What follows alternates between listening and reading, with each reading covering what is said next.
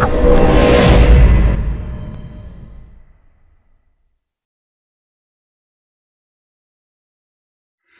guys, it's Shane, and uh, this is another episode of Talking and Drawing.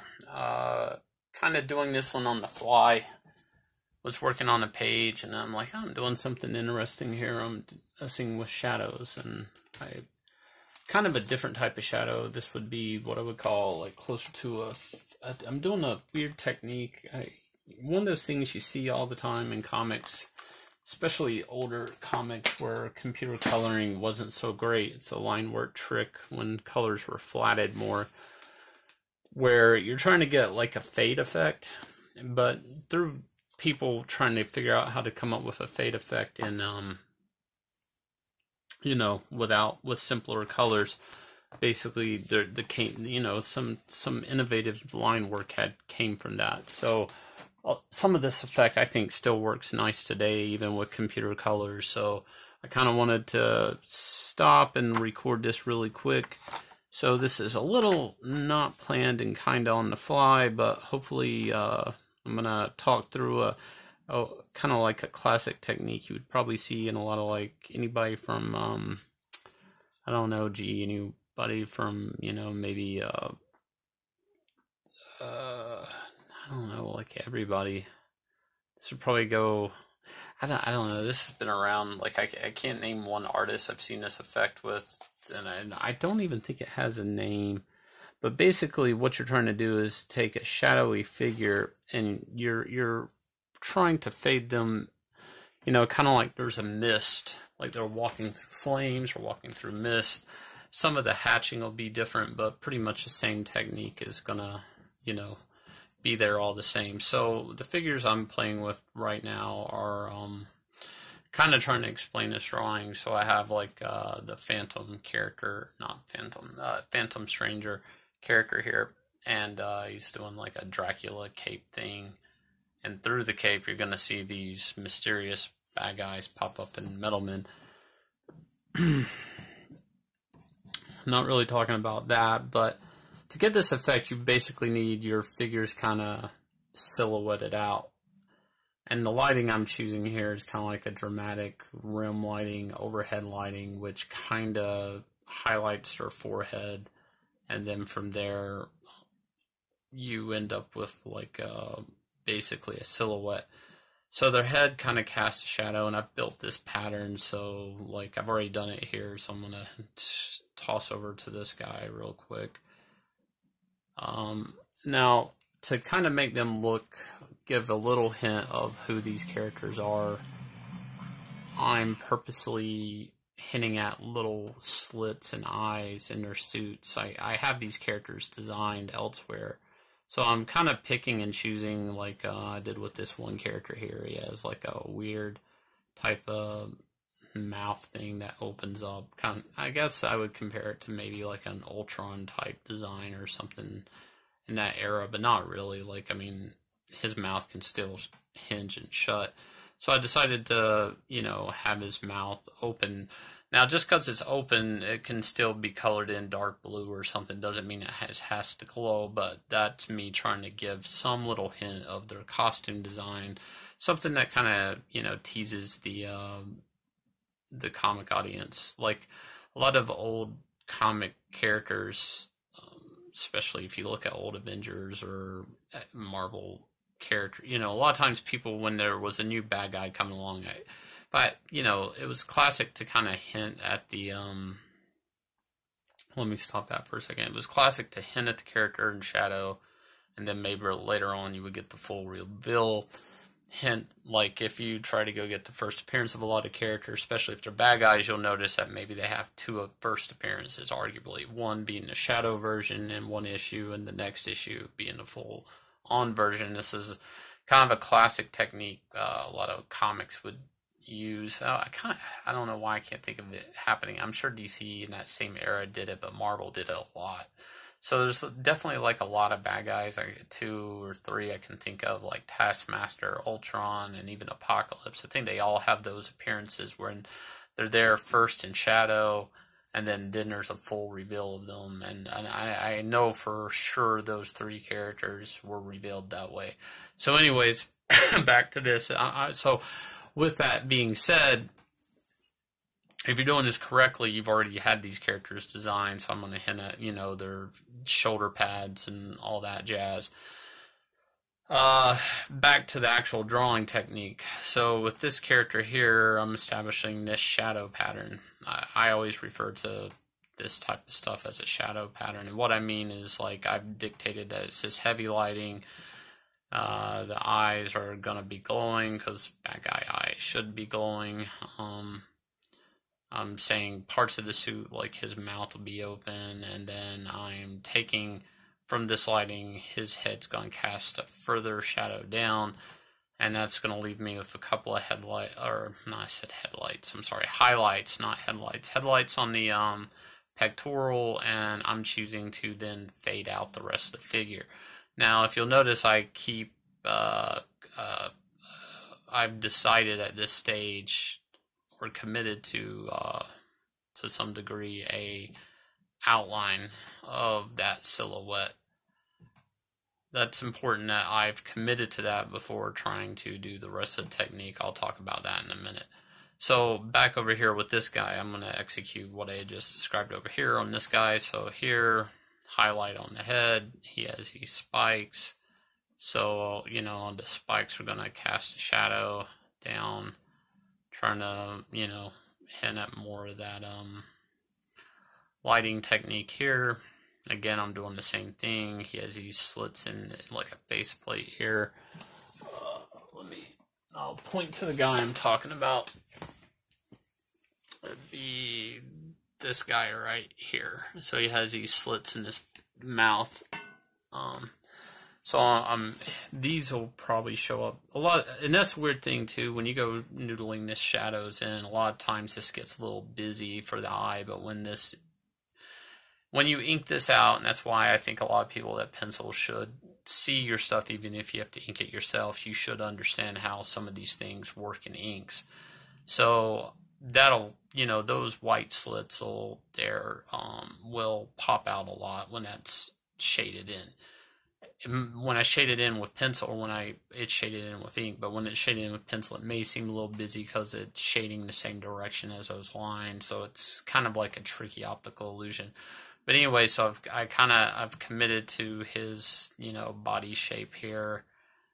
You know, I know where his legs and hips and all that jazz is going to be. You know, he's his fist, all that. So all that's for the most part there. So I'm gonna you know drop the shadow there.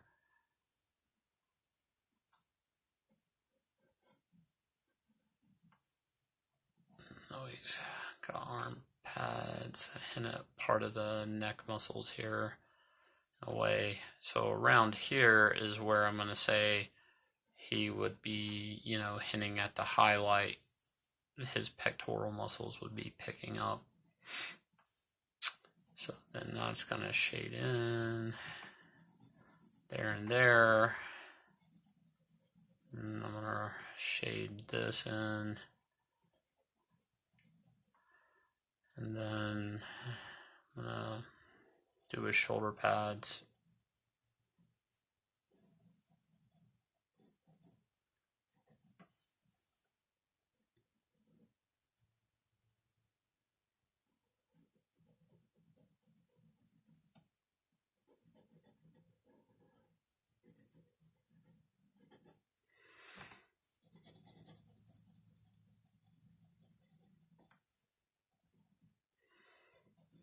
I want to make sure I have like the shadow down pat at this point.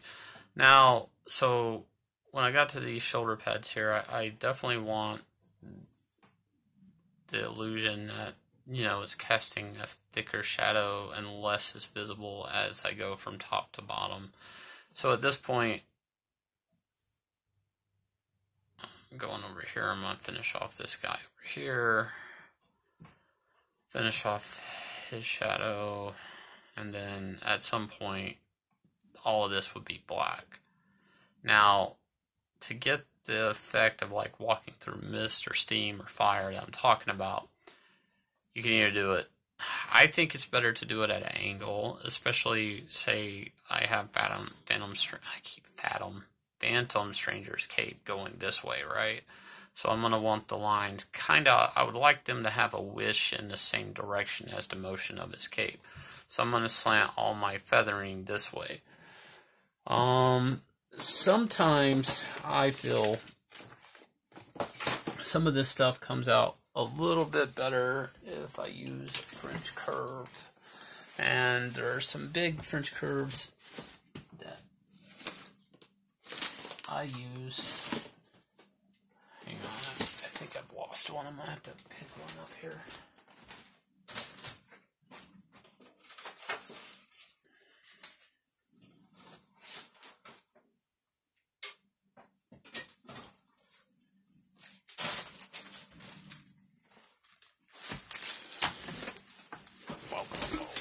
So, if you want, if you're concerned about keeping a consistent arc or line, especially if you're inking yourself, you may want to uh, use a French curve. So, I sometimes keep like a little French curve, but I don't really know if I want to use a French curve. I don't. If if you feel confident with the arc in your wrist, or if you're going to get the right line, then don't. You know. Um. So I'm gonna start basically trying to bleed or feather this out,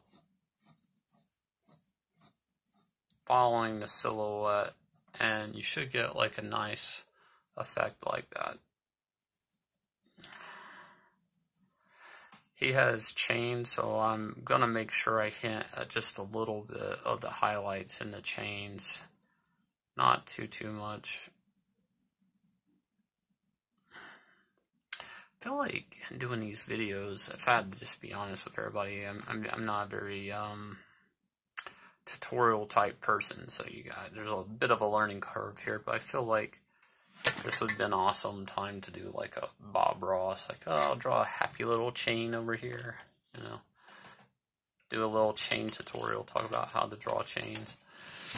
It's funny, I learned how to, I'm a person who read books in the 90s and read a lot of Spawn, so learning to draw and you read Spawn and you're like a little teenage kid, you know, first thing you're gonna do is learn how to draw a chain. So I might I might talk about drawing chains another time, but so I'm gonna hint at the. Um, I basically want just some highlights off the chain. I really don't want the full chain in there.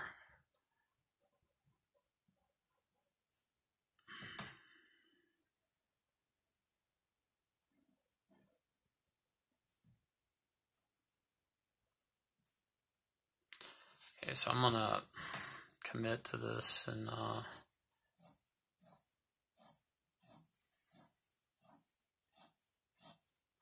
now you'll notice I just broke the silhouette and I'll I'll show you why in a second. So again up here at the top I do need a heavy concrete black shape to then work off of. So again I'm gonna feather this down shade this out and then continue to feed that shadow coming out.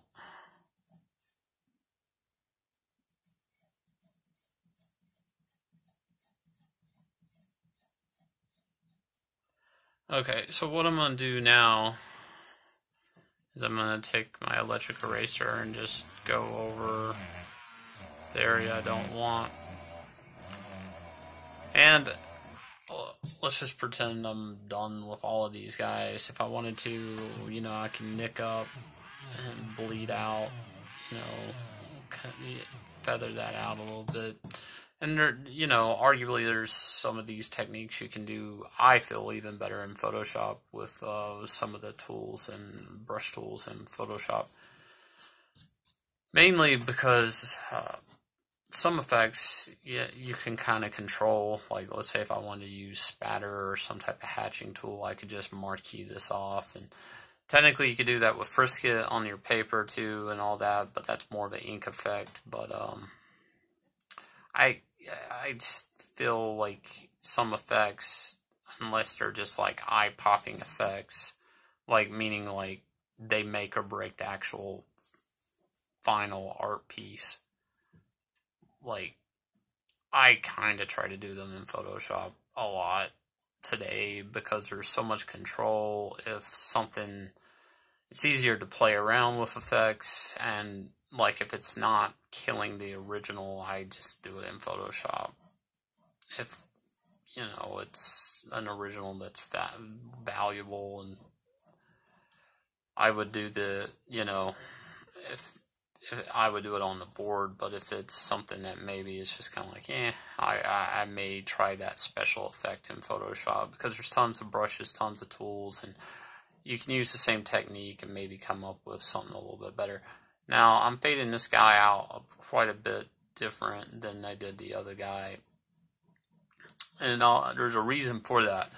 So when I go to do this, the guy in the character that probably has the most black in him, which would be this character, right? He's going to be kind of up front. If I want to thicken that up.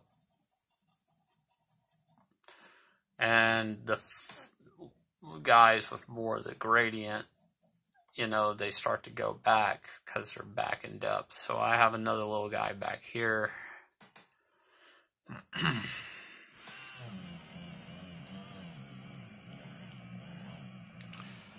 kind of need to get rid of some of his cape because I definitely don't want to go in trying to erase the cape after I've drawn in the little guy. So let me make sure some of the construction lines on the cape are are gone.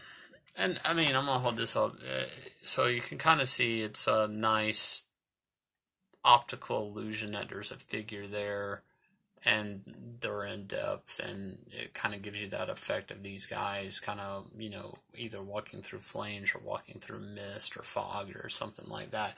So and, and again when i get in um, phantom stranger's cape and the effect on it i'm probably gonna try to work in some of the lines in sort of the same way and maybe have a you know this black up here and it's kind of fading into gray and then it fades into them. So it should have a nice fade effect. So in theory, um, I'll be honest, you can work in comics uh, many years unless you've drawn the same exact thing. Like maybe I've done this technique and I know how this will work. And I've drawn a silhouette character before in a cape but I've never feathered it out into the same gray as kind of like this. So I don't really know how this will look, to be honest, because I'm, I'm combining two technique, two different things for one effect. And in my head, it should work and it might not work. But here's why it'll work.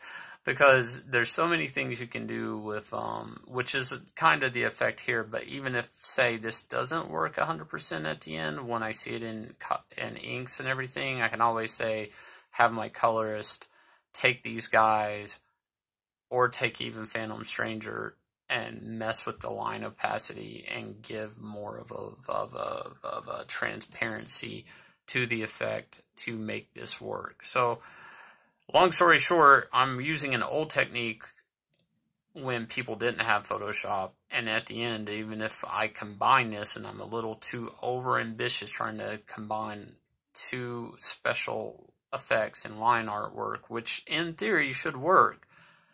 But let's say if I don't pull it off in inks or something goes wrong, I magically have Photoshop effects that can help pull that together today.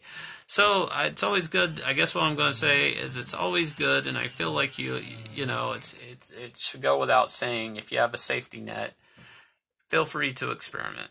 I feel free that even if I don't pull this off on one end, it'll come together in the other. So I may be playing with an effect here just because I know like I, I have a safety net. So I, I feel like, you know, there's, you know, it's kind of liberating in that sense. So right now I'm going to, I do feel if I just have gray and gray, I do need some blacks against white. So I really want my main bad guy leader up front here with his shoulder pads to pop out. So I'm gonna, you know, I, I want that black and white contrast. And a lot of this effect is just head and shoulders of these guys kind of coming through mist. So.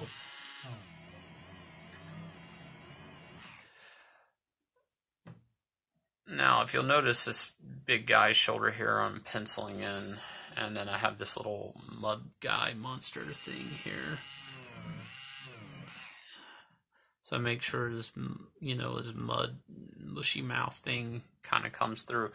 So I have a problem here, if I want it to be a problem, where one guy might bleed into the other and they don't separate too too well. So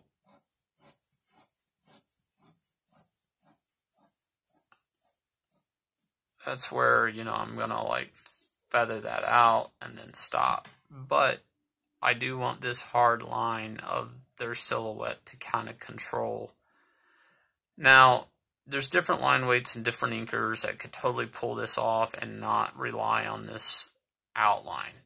But I do think that the characters' suits and this these interesting silhouettes are very you know mysterious and you kind of wonder what these shapes make up that I want to keep that line. So there is a rhyme and reason that I want that heavy line. I, I feel like there is some information there of value that you you see the interesting silhouette. You see that these characters have armor and gauntlets on. They don't look like you know normal DC characters. Maybe they come from a different DC universe. Maybe their silhouettes kind of remind you of other character silhouettes you've seen in other DC events. So I want all that information to come across. So I definitely want that part. Now, I kind of don't like how his shoulder patches pop out open. Like, they are just too reflective. So, what I'm going to do is I'm going to throw in some gray on that. But don't take it all the way to the edge.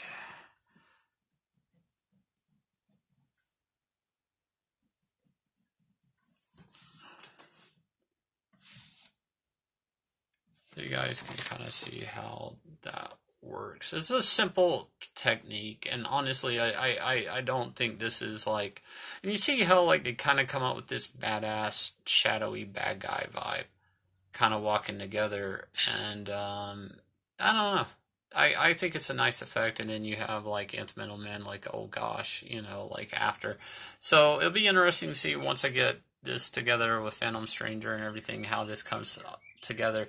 But I do think this is an old effect that I wanted to talk through. Uh, it's kind of simple, but I, I will say if you don't have these figures committed to in your head, or even their designs, this won't work. So, like, don't think like, oh, I don't know what the bad guy is going to look next issue. Let me just plop in some shadows and I'll figure it out later. Because, and I'm not even sure if that's what they did back in the day because uh, there was also off-panel word balloons and shadowy hands and all these other different tricks. And and you can if you look up characters' first appearances, uh, certain characters like Ultron or again Taskmaster or Apocalypse, you'll see what I'm talking about. I think Apocalypse had like an A belt buckle showing, so this is like kind of like a weird comic, very classic comic storytelling technique I maybe even syndicate shows have something like that where you see the the character. I will say in animation TV it works differently though because you can always hear the person's voice. So whereas in comics you don't hear the person's voice. So off-panel word balloons you have no idea who the character is. Voice balloons or character balloons, word balloons, they're you know, they're kind of I, I don't know. They're you know they're the there's no sex to them. There's no age. They're they're literally just maybe you'll have a font, maybe in the word balloon special, like Venom's word balloon or something, you'll recognize that's the voice. But technically, you know, for the most part, you know, there's there's word balloons in comics. You know, you could always just have, you know, uh, Kingpin's word balloon off panel, and you don't know it's Kingpin. You just know there's a word balloon and there's a silhouette. A, he's casting a shadow that kind of looks like Kingpin. So you know you you assume it's Kingpin, but you don't really know it's Kingpin.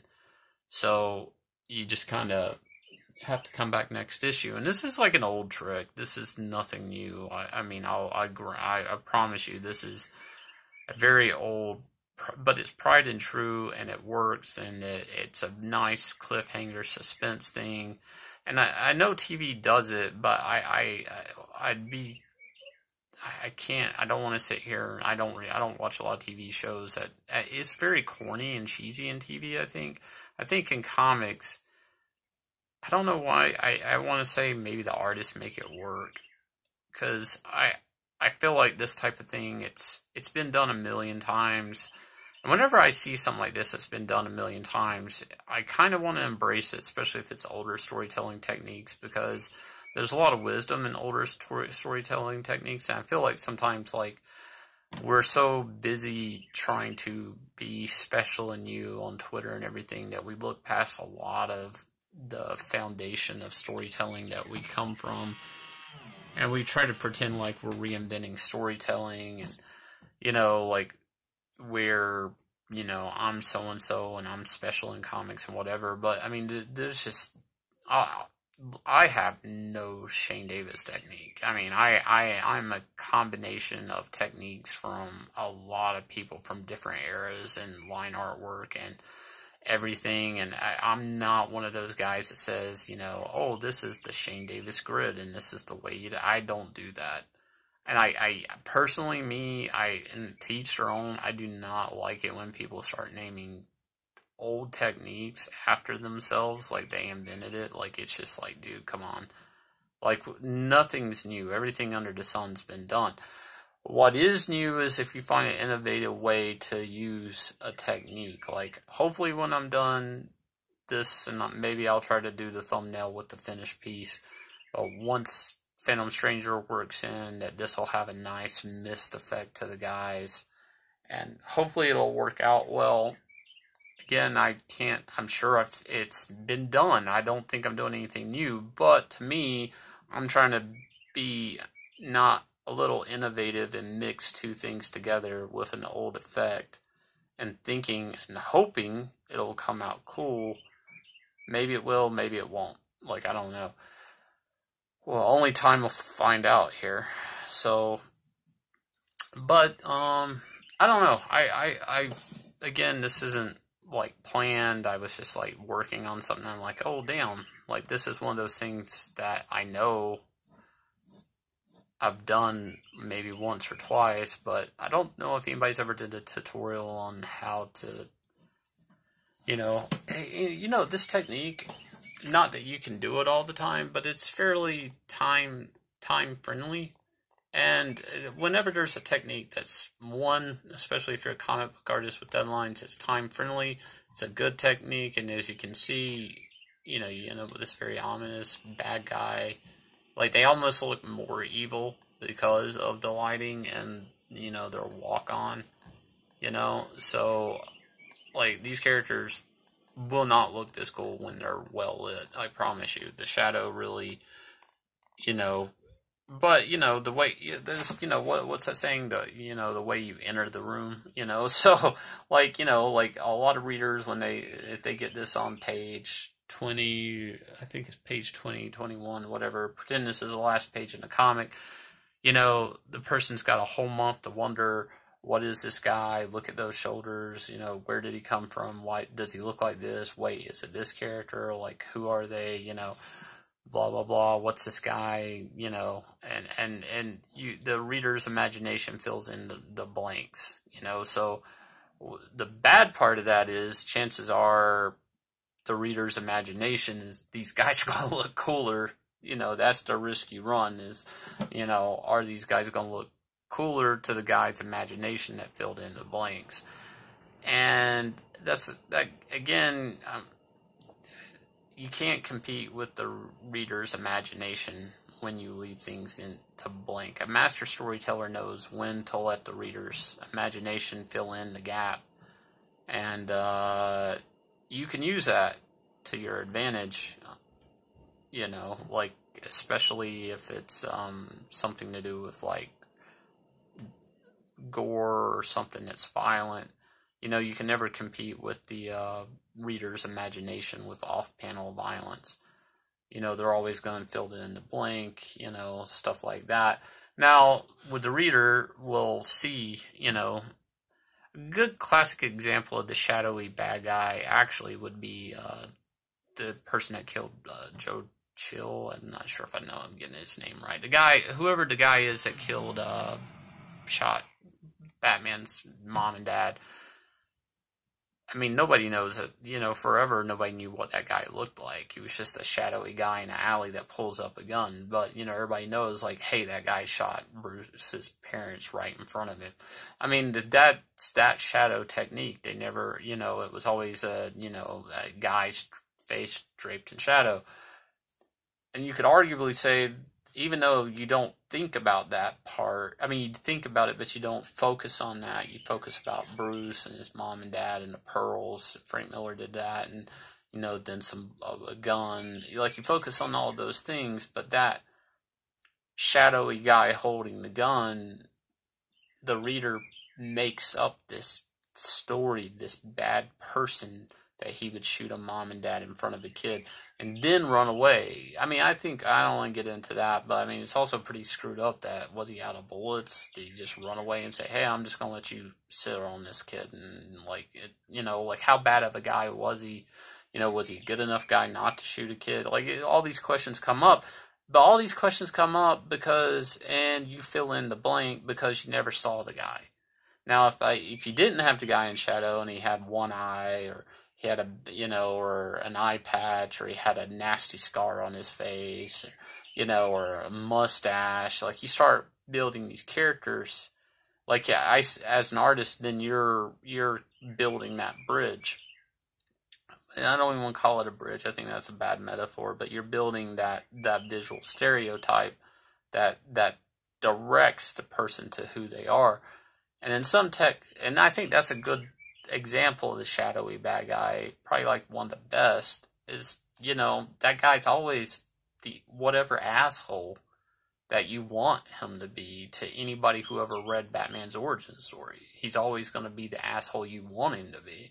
I actually thought in Nolan's Batman film, it was really Batman Begins. It was weird that they actually focus on him a little bit in the thing where Bruce actually confronts him and all this stuff. Bruce Wayne you know, and makes a decision. I like I, I, as a story, I'm like, yeah, no, that's brave that you made the decision to pull the, you know, to to not shoot him, or you backed away and somebody else shot him, or whatever, or maybe you were. That's what it was. He was going to, but somebody beat him to it.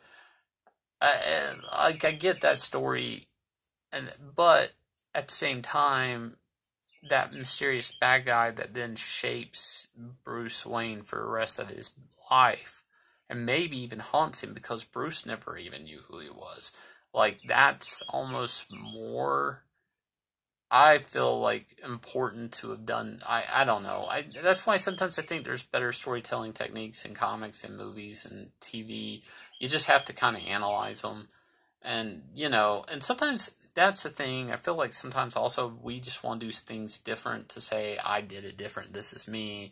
I think in sometimes drawing, and especially techniques like this, there's pride and true in what works, and you know you have to understand there's been people's lives they spent doing this. They've they they went through all these trials and executions, and some work, some don't, and it, I think it's just I don't think it's a cop out, but I think there's wisdom in just taking pride, not pride and true, but techniques that work and executing them as your own. Now, now not arrogantly going in saying, I'm going to reinvent this and this is my technique, but just saying, like, you know, learn from things that work, you know, and then apply them in your way. And, you know, there's no shame in that. I'm not sitting here saying this is how I have to do it because I'm me and this is, you know, my technique. Now, I will say this is my drawing. I'm going to either fail or succeed at this. If this doesn't work, I can't then go point at, you know, like, uh, whatever artist I, I can point to that did this technique and say, it failed because he did it over here and I followed him and it failed. No, like I mean, I'm going to own the success of this, but I'm never going to say this is my technique either. And I think there's a lot of wisdom to that, and I think there's a lot of you know uh, humility in that, and I think that there's more growth from humility than there is arrogance. So I try to practice humility whenever I can in my drawing. And that's a philosophy of mine. I'm not here to push a philosophy on anybody, but I do suggest that you shouldn't look past pride and true techniques but also don't try to crib them like they're your own. Like, you know, they are a comic book technique. Like I, this this technique has been done so many times. I'm I'm afraid to even name a guy because I'm sure there's 20 guys before him that did it, and I don't want to I don't want to take away from them. I mean, I could sit here and say, oh, this issue of X Men over here, you know, Jim Lee or Andy Kubert did it here, and you know, so and so did it here, but it's like I don't know who did it first and chances are it wasn't a guy in comics. And then maybe, you know, it was a Winsor McCay syndicate strip or, or uh, not even a strip, maybe a, a piece that he had like, you know, like a, uh, like magazine piece, illustration, spot illustration, and it was the Grim Reaper or something in the background, and he used this technique. You know, it could, who knows where it came from you know, originally, but it's something that works and it works cool. And even with, like I said today, with computer colors, I can still use as a crutch. But this technique, which was made for black and white, and even then, black and white with limited flat color, even today, with today's awesome computer coloring, this technique still works and it will still work even with today's razor sharp computer coloring it again there are some things that were innovative for the technology they are that still work today. Like, you know, a caveman made a wheel out of a rock one day and it worked, but wheels still work today, even though we, you know, a tire, a wheel on a car has, you know, oxygen, rubber, all these complicated things, the basic wheel still works. And I, I get that's a better metaphor than the bridge I used before. But hopefully this was something, you know, interesting at the least, and comic book geeky, talking about storytelling techniques and certain characters that have appeared this way. But I will say, for all you guys that try to track down first appearance of characters and you see two appearances, this technique is why you end up like which issue do is the first appearance. It's this storytelling technique and and the off pan the classic off panel balloon or again another way to do the same thing is to cast shadow over the hero and then you just see the cast shadow of your character but you don't know who they are and the word balloon so then you argue again you get the same thing um, then you're arguing about the cast shadow and the shape of the cast shadow who that shadow is. Is it, you know, depending on if they have a hood, horns, cape, all these things factor in. You can then also put a foreground of their boot or something, and you see a little bit of the color. So you'd be like, wait, is that Superman's boot? Is that, you know? And then you, I mean, there, there's all different variations of this storytelling technique. The trick, though, is that you don't give away it's a wind up before a punch. It's a setup punch for the for the it's a jab for the cross. It's just a setup for the for the pow. So like but with the setup and all, all this uh, make a little bit sense is maybe the cross or the pow, the hard punch is a little bit more because of the setup. So if you do this technique right, you, you can with again talking about anticipation between the next installment of the story, you can kind of set up. It, it, it kind of I don't want to say falsely inflates, but it does cause a type of viewer anticipation. You're as a storyteller, you're manufacturing a type of anticipation that wouldn't normally be there. And and and again, they do this in TV shows a lot more, but sometimes I think it's a little bit the way they do in TV shows is the person turns, they're shocked by an action. You maybe hear a voice, maybe you don't. you don't see what they're shocked at, and it cuts away real quick. And comics, because we don't have actors' voices and stuff that people pick up on and it gives away, you can do again the word balloon, the shadow, or in this case, these are new characters that nobody's seen. I'm choosing to hint at the shape of them here. So, and there's other things I could talk about with these guys, talking about different silhouettes and the way the big guy goes in the back and you kind of I still kind of wanted to emulate the small guy in the team, kind of like Tin. So I kind of wanted a little guy back here, but I kind of want him globby and messy. So there's a lot of different factors to these guys going into this, but you could see, you know, for the record, it's a nice little effect. Um, very practical, makes you wonder what they look like the next issue, and that's as storyteller what I wanted to do. That's what the script wanted to do.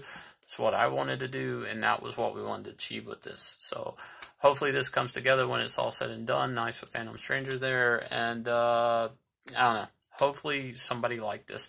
Anyways, hit like, subscribe, and uh, click on for notifications. I will be doing more live streams in the future, so I will say, you know, um, for updates on Windows Go Live, I'll, you know, you know, hit subscribe and notify. You'll hopefully get a notification. Um, and I'll catch you guys later. Thanks a lot. Bye.